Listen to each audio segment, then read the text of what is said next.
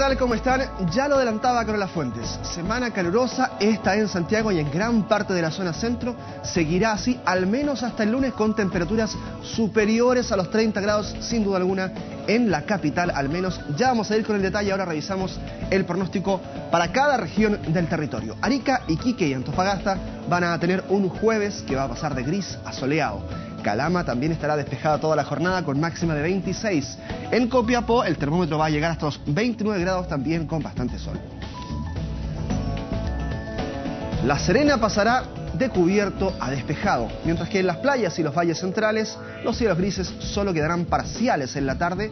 Podría haber algunas lloviznas durante la tarde-noche en la costa, pero de todas formas se espera que haya bastante sol. En la tarde 22 grados la máxima para Valparaíso, 31 en los Andes.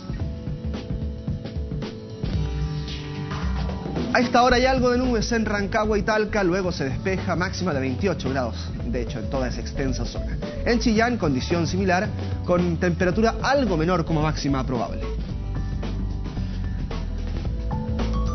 También estará parcial la costa del Biobío, 22 de máxima en Concepción y Talcahuano. Temuco, Valdivia y Osorno tendrán algunos chubascos entre claros.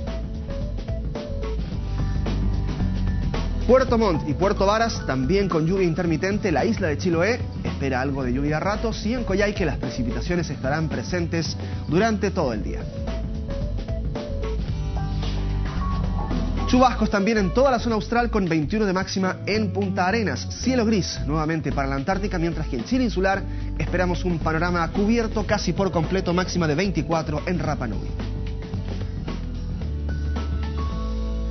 Y si ayer tuvimos temperaturas agradables de 28 grados de máxima, 29 casi en algunas zonas, para hoy el termómetro se espera que llegue hasta los 31 grados y fíjese usted 32 para el día viernes y también las temperaturas se van a mantener en ese orden por lo menos hasta el día lunes.